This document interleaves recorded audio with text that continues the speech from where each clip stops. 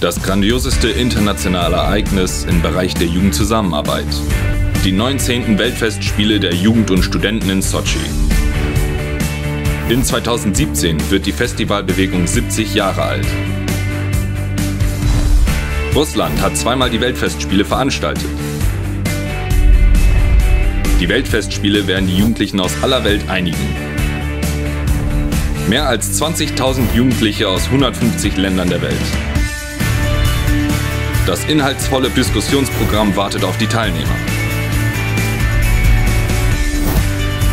Sportereignisse. Ein unvergessliches Kulturprogramm. Ab dem 1. November 2016 fängt das Internationale Mediazentrum seine Arbeit an. Die Weltfestspiele der Jugend und Studenten werden von UN-Institutionen unterstützt. Die Arbeit während der Weltfestspiele wird auf allen Amtssprachen der Vereinten Nationen geleistet. Vom 14. bis zum 22. Oktober 2017.